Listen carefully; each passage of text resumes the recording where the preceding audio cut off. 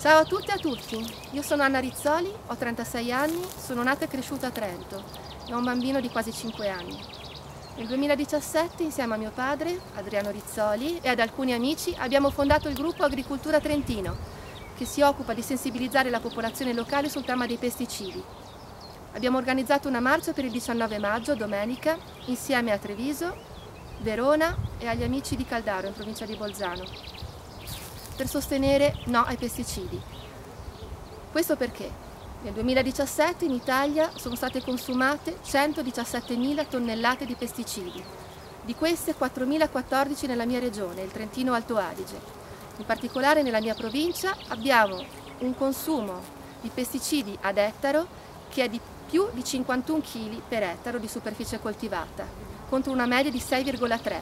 Arriviamo addirittura a punte di 90 kg di pesticidi, di chili di pesticidi appunto per ettaro di superficie coltivata. Devo ringraziare il Comitato per il diritto alla salute della Val di Non per avermi fornito questi dati elaborati. Ricerche indipendenti hanno riscontrato fino a 5 residui di pesticidi nella mela coltivata col metodo integrato, fino a 10 per quanto riguarda la fragola. L'analisi delle acque del 2015 in provincia di Trento ha riscontrato che su 51 corsi d'acqua in stato non buono, ben 20 erano contaminati da pesticidi. Un terzo dei gas serra a livello mondiale deriva dall'agricoltura intensiva. Uno studio di Alleva ed altri del 2016 ha riscontrato residui di clorpirifos nelle urine di residenti in territori coltivati in modo intensivo, melicoltura. Questi metaboliti presenti nelle urine erano correlati a danni al DNA e ha una difficoltà del corpo a riparare questi danni. Quindi clorpirifos danneggia il DNA dei residenti in aree vocate alla coltivazione intensiva della mela. Per tutti questi motivi riteniamo che i pesticidi di sintesi siano una tecnologia fuori controllo. Molta parte della popolazione, anche localmente, ha conoscenza di questo problema, grazie anche all'ottimo lavoro di sensibilizzazione fatto da Andrea Tomasi e Leonardo Fabbri attraverso il loro documentario Pesticidi siamo la frutta che vi invito caldamente ad andare a vedere.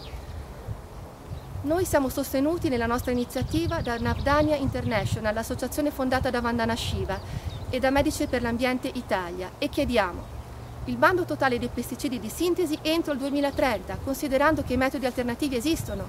In Trentino abbiamo un 7,5% dei territori dedicati alla frutticoltura coltivati con metodo biologico, un 12% per quanto riguarda la viticoltura.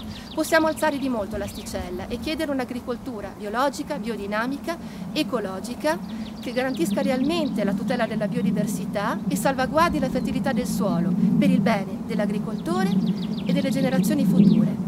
Quindi unisciti a noi, sostieni la nostra campagna promozionale attraverso la eh, stampa di due poster eh, pubblicitarie di grande formato, 3x6 metri, che affiggeremo in zone sensibili della nostra città, Trento, e la realizzazione di un concerto con un bravo cantautore trentino, Francesco Camin, che è molto sensibile alle tematiche ecologiche. Aiutaci ad arrivare a molta parte della popolazione che ancora magari non utilizza i social e non ci conosce, a costituire una massa critica che faccia pressione sulle istituzioni per un deciso cambio di rotta.